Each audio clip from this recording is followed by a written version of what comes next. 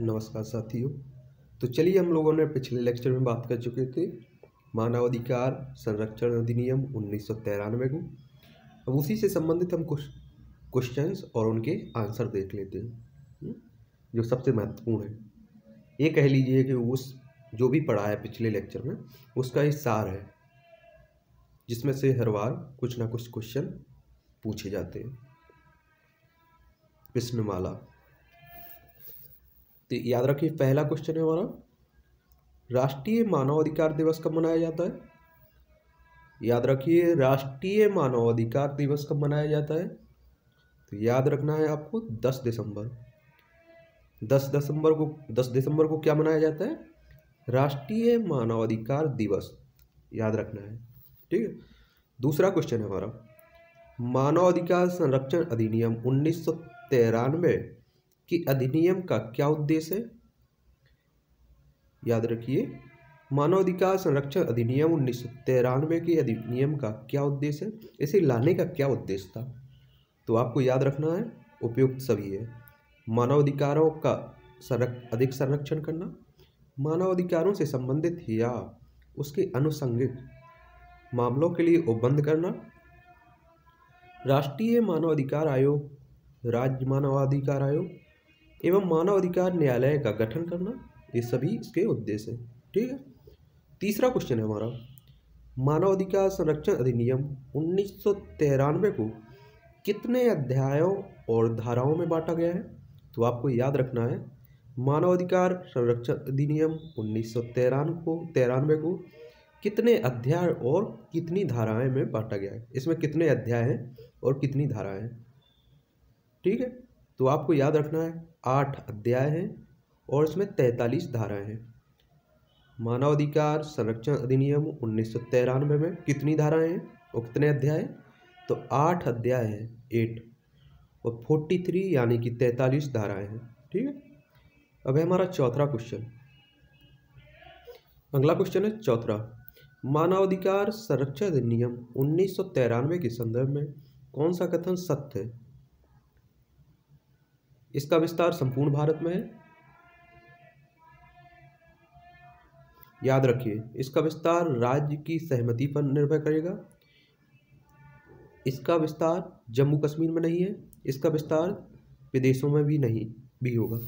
तो याद रखना, अगर 2019 से पहले देखते तो बी ऑप्शन सही था। लेकिन 2019 में जो जम्मू कश्मीर में से 370 हट गई तो अब इसका विस्तार संपूर्ण भारत में है। इसका विस्तार संपूर्ण भारत में होगा। क्योंकि अब जम्मू कश्मीर से 370 और पैंतीस हटाने के बाद अब वहाँ कोई मत इसका वो नहीं रह गया है। विशेष अधिकार खत्म हो गए तो अब वो सभी प्रावधान लागू होंगे जम्मू कश्मीर में, जो अन्य राज्यों में होते हैं। फिर है पाँचवा क्वेश्चन मानवाधिकार संरक्षण अधिनियम में कि जम्मू एवं कश्मीर में लागू होने के संबंध में निम्न में से कौन कथन सत्य है?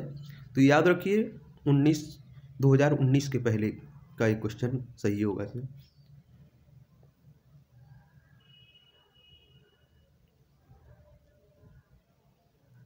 इसमें दा, यह अधिनियम जम्मू कश्मीर राज्य पर उसी सीमा तक लागू होगा, जहाँ उसका संबंध उस राज्य में प्रयोज्य संविधान की सातवीं अनुसूची एक, सूची एक में और सूची तीन में वर्णित किन्हीं प्रविष्टियों से संबंधित मामलों में। लेकिन अब यहाँ से विशेष अधिकार हट गया तो पूर्ण रूप से जम्मू कश्मीर में लागू होगा छठवा है। अगला क्वेश्चन कौन सा है अपना? छठवा। मानवाधिकार संरक्षण अधिनियम उन्नीस सौ तिरानवे को राष्ट्रपति की अनुमति मिली कब?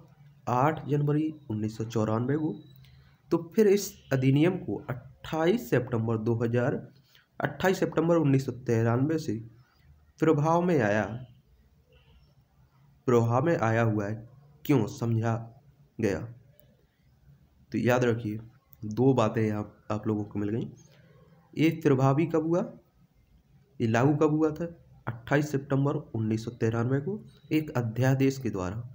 और राष्ट्रपति की अनुमति कब मिली? 8 जनवरी उन्नीस सौ चौरानवे को। ठीक है?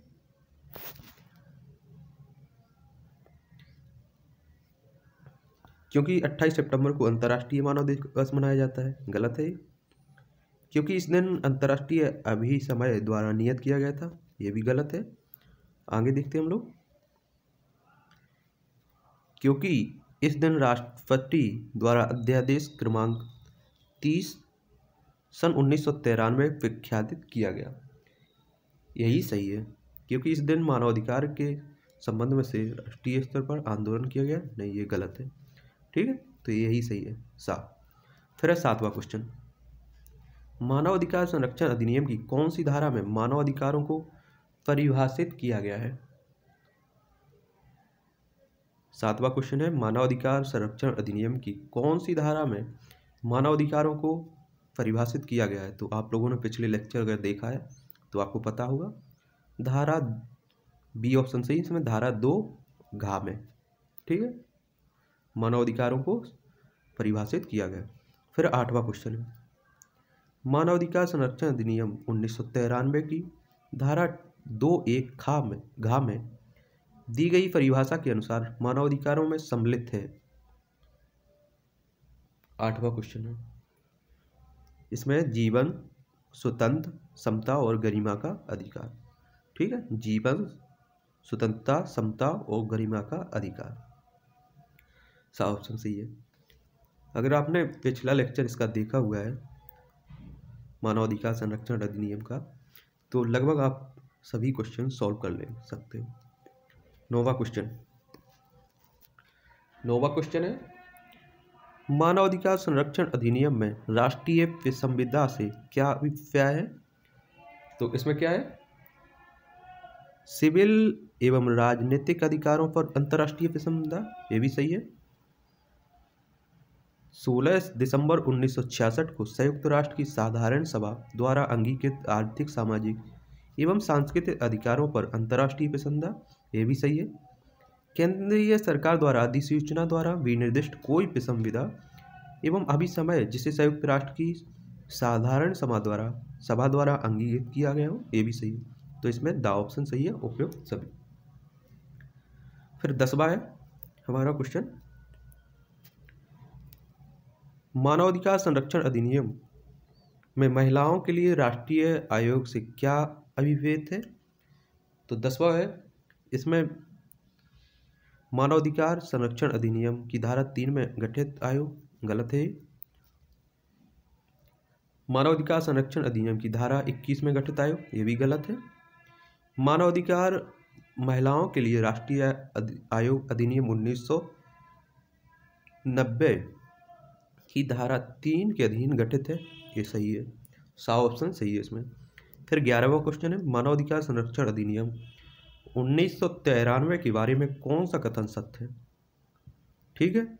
तो इसमें हम लोग देखते हैं, राष्ट्रीय मानवाधिकार आयोग में कुल पाँच नियुक्त सदस्य होते हैं। ये सही है। राष्ट्रीय मानवाधिकार आयोग का मुख्यालय मुंबई में है। ये गलत है, क्योंकि दिल्ली में है। राष्ट्रीय मानवाधिकार आयोग के सदस्यों की नियुक्ति उच्चतम न्यायालय के मुख्य न्यायाधीश करते हैं। ये भी गलत है। राष्ट्रपति करता है। एक समिति के सिफारिश पर। फिर है दा ऑप्शन। आयोग अपनी वार्षिक रिपोर्ट भारत के राष्ट्रपति को सौंपती है। गलत है। तो कौन सा सही है? राष्ट्रीय मानव अधिकार आयोग में कुल पाँच नियुक्त सदस्य होते हैं। एक अध्यक्ष और एक सुप्रीम कोर्ट का न्यायाधीश, एक हाई कोर्ट का और दो सदस्य होते हैं, जो मानवाधिकारों के विषय में ज्ञाता हो। अब बात करते हैं। बारहवा क्वेश्चन है। राष्ट्रीय मानवाधिकार आयोग का अध्यक्ष कौन होता है? तो याद रखिए। जो प्रधानमंत्री, ये नहीं होता है। राष्ट्रपति भी नहीं होता है। उच्च, जो उच्चतम न्यायालय का मुख्य न्यायाधीश रहा हो। ठीक है, यही होगा। जो किसी उच्च न्यायालय का मुख्य न्यायाधीश रहा हो, ये नहीं। याद रखिए, इसमें क्या है? सी ऑप्शन जो उच्च न्यायालय का मुख्य न्यायाधीश रहा हो, यही सही है। मतलब सा ऑप्शन सही है दावी गलत है, ठीक है? तो याद रखना है, तेरहवा क्वेश्चन है। तेरहवा क्वेश्चन क्या है? मानवाधिकार आयोग के प्रथम अध्यक्ष कौन थे? तो याद रखिए मानवाधिकार आयोग के प्रथम अध्यक्ष कौन थे? तेरहवा क्वेश्चन है। इसमें न्यायमूर्ति रंगनाथ मिश्रा रंगनाथ मिश्रा मिश्र फिर आपको याद रखना है चौदहवा क्वेश्चन राष्ट्रीय मानव आयोग का सेक्रेटरी जनरल है। तो इसमें एक न्यायिक अधिकारी, उसे आयोग के सदस्य के रूप में मानता है। वह आयोग द्वारा विनियमित बनाने के कार्य में सक्रिय है। ये तीनों गलत हैं। इनमें से कोई ऑप्शन नहीं है। ठीक फिर पंद्रवा। राष्ट्रीय मानवाधिकार आयोग का महासचिव आयोग की ऐसी शक्तियों का प्रयोग करेगा एवं ऐसे कार्यों का निर्वहन करेगा जो उस आयोग का अध्यक्ष, आयोग या अध्यक्ष द्वारा वित्तायोजित किए जा, जाए, किंतु उसे निम्नलिखित संबंध में कोई शक्ति नहीं है। तो इसमें क्या है? पंद्रवा। इसमें सा ऑप्शन। उपयुक्त आ और बाप दोनों शक्तियाँ मतलब न्यायिक और धारा चालीस खा के अधीन विनिमय बनाने की शक्ति। फिर हमारा सोलहवा क्वेश्चन सोलहवा क्वेश्चन है मान राष्ट्रीय मानव अधिकार अधिकार आयोग का मुख्य कार्यालय कहाँ है? तो आपको रखना है याद, सोलह दिल्ली में, ठीक है? राष्ट्रीय मानवाधिकार आयोग के अध्यक्ष सदस्यों की नियुक्ति किसके हस्ताक्षर एवं मुद्रा सहित अधिव्रत द्वारा होती है? तो याद रखना है आपको, सत्रह का राष्ट्रपति। राष्ट्रपति द्वारा। अठारहवा निम्नलिखित में से कौन समिति में शामिल नहीं होता, जो राष्ट्रीय मानवाधिकार आयोग के अध्यक्ष तथा सदस्यों की नियुक्ति हेतु संसदीय करता है? तो याद रखना है आपको, अठारह क्वेश्चन इसमें उपराष्ट्रपति नहीं होता है, प्रधानमंत्री होता है, लोकसभा अध्यक्ष होता है, संघ का गृह मंत्री होता है, ठीक है? लोक, लोकसभा में विपक्ष का नेता होता है और राज्यसभा का उपसभापति होता है। और राज्यसभा का विपक्ष का नेता होता है, ठीक है? छह सदस्य होते हैं। अब बात करते हैं उन्नीसवा क्वेश्चन कौन सा? उन्नीसवा क्वेश्चन निम्न में से उस समिति के में शामिल, जो राष्ट्रीय मानवाधिकार आयोग के अध्यक्ष और सदस्यों की नियुक्ति करता है संस्तुति करता है। तो याद रखिए, इसमें सा ऑप्शन है राष्ट्रपति को। फिर बीसवा क्वेश्चन है, राष्ट्रीय मानवाधिकार आयोग का अध्यक्ष या अन्य सदस्य अपना त्याग त्यागपत्र किसको संबोधित करते देते हैं? तो याद रखिए, राष्ट्रपति को। इक्कीसवा क्वेश्चन राष्ट्रीय मानव अधिकार आयोग के अध्यक्ष किस आयु से अधिक होने पर पद पर नहीं बने रहेंगे? तो आपको याद रखना है, सत्तर वर्ष। अगला क्वेश्चन बाईस। मानवाधिकार आयोग मानवाधिकार संरक्षण अधिनियम उन्नीस सौ तिरानवे की किन धाराओं में मानवाधिकार आयोग की कार्य और शक्तियाँ उल्लिखित हैं? तो आपको याद रखना है। तेरह और बारह तेरह में। सा ऑप्शन सही है। बाईस का सा ऑप्शन सही है। फिर है तेईस। तेईसवा क्वेश्चन राष्ट्रीय मानवाधिकार आयोग के कार्यों एवं शक्तियों का उल्लेख अधिनियम की धारा बारह में किया गया है। इन कार्यों की संख्या क्या है?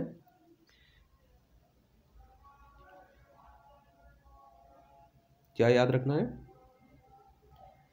राष्ट्रीय मानवाधिकार आयोग के कार्यों और शक्तियों का उल्लेख अधिनियम की धारा बारह में किया गया है। इन कार्यों की संख्या कितनी है?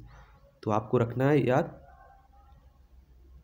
तेईस का दा ऑप्शन दस। तेईस का दा, ठीक है?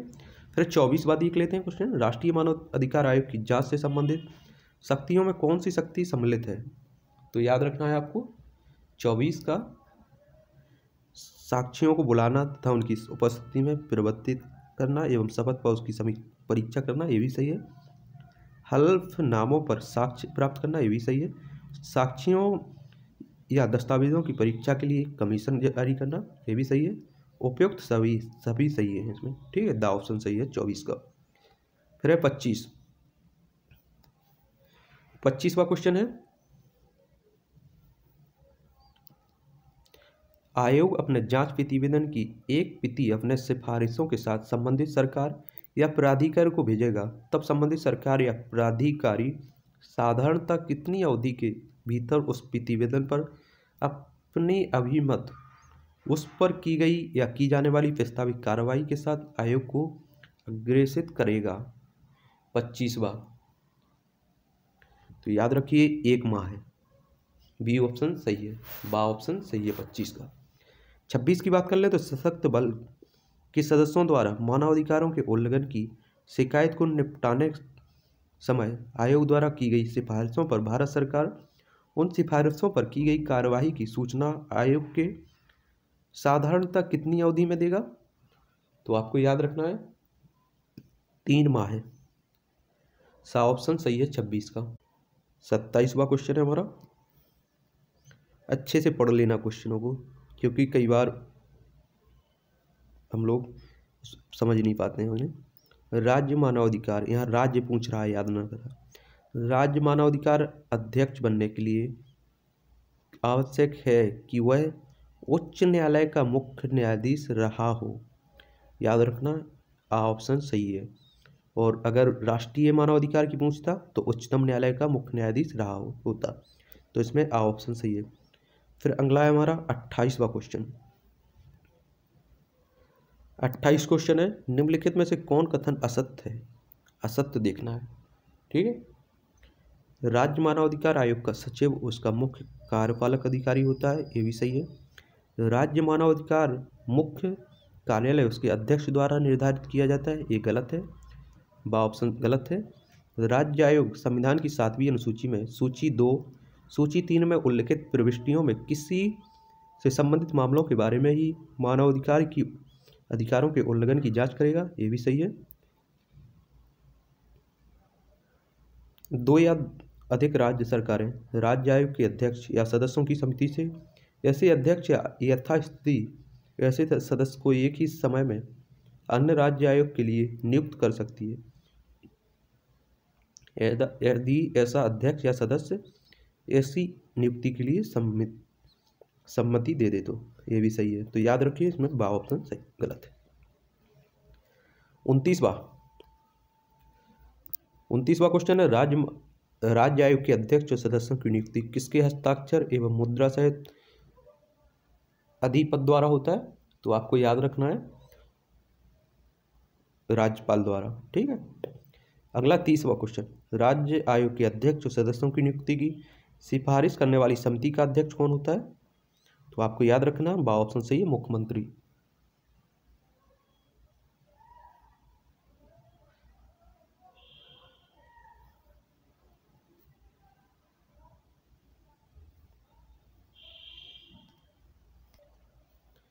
ठीक है तो मुख्यमंत्री। अगला है हमारा इकतीसवा क्वेश्चन कौन सा? इकतीसवा क्वेश्चन हमारा, अगला।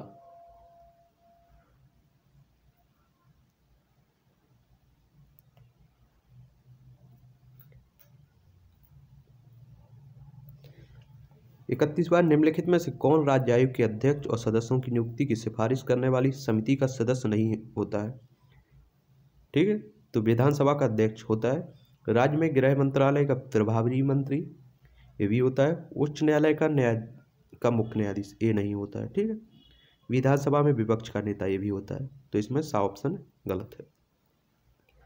अगला है हमारा बत्तीसवा क्वेश्चन। राज्य आयोग के सदस्यों की पदावधि संबंधी निम्नलिखित में से कौन सा कथन असत्य है? राज्य आयोग के अध्यक्ष और सदस्यों की पदावधि के संबंध में धारा चौबीस से सम... में उपबंध है, ये सही है। राज्य आयोग का सदस्य उसकी नियुक्ति की तारीख से पाँच वर्ष की अवधि के लिए पद धारण करता है, ये भी सही है।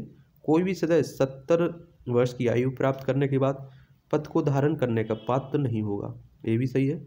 कोई भी सदस्य पाँच वर्षों की दूसरी अवधि के लिए पुनर्नियुक्त होने के पात्र नहीं होगा, ये गलत है। सदस्य होगा लेकिन अध्यक्ष नहीं होगा, ठीक है? अब बात करते हैं हम लोग तैंतीसवा क्वेश्चन राज्य आयोग के सदस्य, अध्यक्ष और सदस्यों का संदेह वेतन भत्ते उसकी सेवा की अन्य शर्तें व निबंधन किसके द्वारा विहित किया जाएगा? तो याद रखिए, तैंतीसवा क्वेश्चन है राज्य सरकार द्वारा। चौंतीस बार राज्य सरकार प्रत्येक मानवाधिकार न्यायालय के लिए उस न्यायालय में मामलों को संचालित करने के प्रयोजनार्थ किसे विशिष्ट लोक अभियोजक के रूप में विनिर्दिष्ट करेगी? तो आपको याद रखना है, किसी लोक अभियोजक को, किसी ऐसे अधिवक्ता को जो कम से कम सात वर्षों के से विधि व्यवसाय कर रहा हो तो इसमें सा ऑप्शन सही है। उपयुक्त, ए, आ व बा, दोनों सही है, ठीक पैंतीसवा पैंतीसवा राष्ट्रीय मानवाधिकार आयोग। राष्ट्रीय आयोग के लेखों का वार्षिक वितरण, विवरण तैयार करने का प्रपत्र केंद्रीय सरकार के किसके परामर्श से विहित है? करेगी। तो याद रखना है इसमें। भारत के नियंत्रक एवं महालेखक परीक्षक से। अब बात करते हैं हम लोग छत्तीसवा क्वेश्चन राज्य आयोग के लेखों का वार्षिक विवरण तैयार करने का प्रपत्र राज्य सरकार किसके परामर्श से भेद करेगी? तो याद रखना है, छत्तीस, इसमें भारत के नियंत्रक एवं महालेखा परीक्षक से सैंतीसवा है, राष्ट्रीय मानवाधिकार आयोग या राज्य आयोग उस तारीख से जिसके कि मानवाधिकारों के उल्लंघन करने वाला कृत्य किए जाने का आरोप किया गया है। कितनी अवधि के बाद किसी मामले में जाँच नहीं करेगा? तो इसमें याद रखना है आपको, एक महीने की अवधि की समाप्ति के बाद, एक वर्ष की सॉरी एक वर्ष की अवधि के समाप्ति के बाद के मामलों को, ठीक है? फिर है अड़तीस। अड़तीसवा है निम्नलिखित में से किस भारतीय दंड संहिता की धारा इक्कीस के अंतर अर्थांतरित लोक सेवक समझा जाएगा? तो इसमें उपयुक्त सभी राज राष्ट्र राष्ट्रीय आयोग के का प्रत्येक सदस्य, राज्य आयोग का प्रत्येक सदस्य, राष्ट्रीय आयोग या राज्य आयोग द्वारा इस अधिनियम के अधीन कृत्यों का प्रयोग करने के लिए नियुक्त प्रत्येक अधिकारी। फिर है उनतालीसवा, कौन सी धारा पूर्ववर्ती प्रभाव प्रभाव से नियम बनाने की शक्ति प्रदान करती है? तो इसमें धारा चालीस का, ठीक वह, ऑप्शन सही है। उनतालीस का है अब बात करते हैं चालीसवा क्वेश्चन धारा चालीस खा के अधीन, विनियम बनाने की शक्ति निम्नलिखित निम्नलिखित में से किसके, किसे प्राप्त है? चालीस का है, राष्ट्रीय मानवाधिकार आयोग. को फिर इकतालीसवा लास्ट क्वेश्चन राष्ट्रीय मानवाधिकार आयोग को विनियमन बनाने के लिए किस का पूर्ण अनुमोदन प्राप्त करना होगा? तो याद रखिए, इसमें केंद्र सर, केंद्रीय सरकार का, ठीक है? तो ये थे चालीस क्वेश्चन इकतालीस क्वेश्चन, टॉप। इन्हीं में से पूछे जाएँगे लगभग लगभग देख लेना, रिवीजन के तौर पर, ठीक है?